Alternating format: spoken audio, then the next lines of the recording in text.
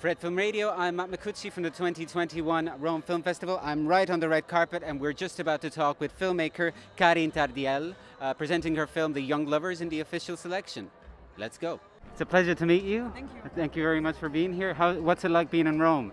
Ah, it's great because uh, it's quite moving because the first time I came at this festival, I met uh, Solveig Anspach, uh, the director that uh, inspired me this film. This film? Yes. How, how did, uh, did he inspire, uh, did, uh, In fact, she this story happened to her mother, and uh, she wanted to make a movie with it, uh, but she died uh, five years ago of uh, cancer, and s- she asked her co-writer uh, that the movie.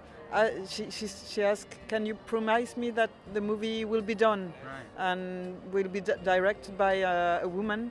And I edited the, the film, and That's now- amazing. yeah, now It's an amazing story. Yeah. It's also a film against prejudices, right? I feel like when it comes to love and differences of age. Uh, it's it's a it's a love story and it's a story that says that you can fall in love uh, at all all ages.